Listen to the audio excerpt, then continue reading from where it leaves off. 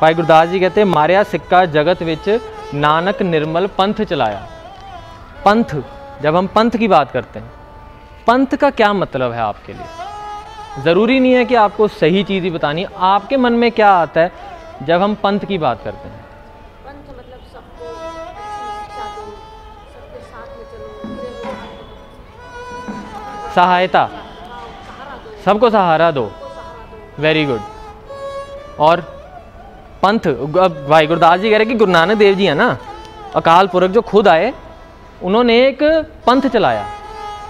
ज़रूरी बात है बड़ी है ना? पंथ चलाया वो पंथ क्या है?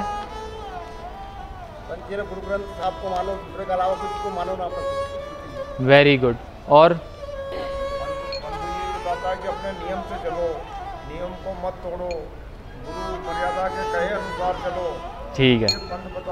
वेरी गुड आपके जो जवाब हैं, वो कहीं ना कहीं पंथ की ही डेफिनेशन को, पंथ को ही, पंथ को का, के बारे में ही बताते हैं, ठीक है? अब जो पंथ है ना, एक तरह से अगर मैं आसान भाषा में आपको बताऊँ, कि एक सिस्टम बनाया। सिस्टम क्या होता है? जब एक बच्चा होता है, एक स्कूल में जाता है, वो एक पर्टिकुलर एक टाइम पर ही जाता है। मान लो सुबह आठ बजे स्कूल शुरू होता है, हैं? क्या आप अपने बच्चे को साढ़े आठ बजे स्कूल भेजोगे? आठ बजे आठ बजे स्कूल का गेट बंद हो जाएगा तो अपने बच्चे को कितने बजे भेजोगे? कितने बजे? सात बजे तैयार कर देंगे। बढ़िया। पौने आठ बजे। पौने आठ बजे भेज देंगे गेट के अंदर। वेरी गुड अब देखो स्कूल का एक नियम होता है ना। अब आठ बजे का नियम है तो आठ बजे से पहले आप कोशिश करते हो कि मेरा बच्चा पहुँच जाए। क्यों? क्योंकि आठ बजे के बाद ना गेट बंद हो जाएगा। फिर नियम की बात आ गई।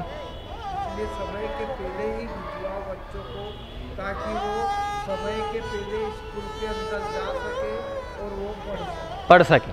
अगर वो समय पर नहीं जाएँगे तो अंदर नहीं जा पाएँगे और पढ़ नहीं पाएँगे। ठीक है और पढ़ाई ज़रूरी है है ना? अब एक और सवाल मैं आपसे पूछता हूँ। मान लो कि जो कक्षाएँ लगती हैं क्लासेस लगती हैं वो आठ लगती हैं दिन में। ठीक है? क्या आपका बच्चा चार लगा के वापस आ सकता है? आठ कक्षाएँ लगनी है अंदर आठ कक्षाएँ ठीक है? आपको क्या लगता है आठ की जगह चार चार लगाता रहे बच्चा ठीक है? आठ पूरी लगनी चाहिए? हाँ, चार के बजाय छः भी करेगा चार भी करेगा गलत है ना? आठ के आठ ही लगाने पड़ेंगे। एग्जैक्टली exactly उसी तरह जो पंथ है वो एक सिस्टम बनाया है गुरु महाराज ने जिस सिस्टम पे हम अगर चलें तो हम अकालपुरख तक पहुँच सकते हैं। गुरु महाराज कहते हैं कि धर्म से पहले पंथ का होना बहुत ज़रूरी है। धर्मी अगर बनना है तो पंथ के अंदर आना पड़ेगा। और पंथ क्या है? एक सिस्टम उस सिस्टम में हज़ारों चीज़ें आ जाती हैं जो गुरु महाराज ने हमें कही हैं। जिसकी शुरुआत होती है सुबह के अमृत वेले से। आप में से कौन हैं जो अमृत वेला संभालते हैं? कोई बात नहीं, अगर लेट भी हम उठते हैं तो इट्स ओके संभाल कभी हम नियम तोड़ते। अब आपको ये समझ में लगी कि वो नियम है। अमृत वेला नियम है, क्योंकि गुरु महाराज का हुक्म है। ठीक है? इसी तरह से गुरु महाराज की जो सात बाणियों का हुक्म है, वो भी एक नियम है। कोई बात नहीं, जो कम करते हैं, वो कोशिश करें। ये जो आप कोशिश करोगे, उसका फल किसको मिलेगा? आप ही को मिलेगा। आप उस अकाल पुरख के और करीब जा, जाते जाओगे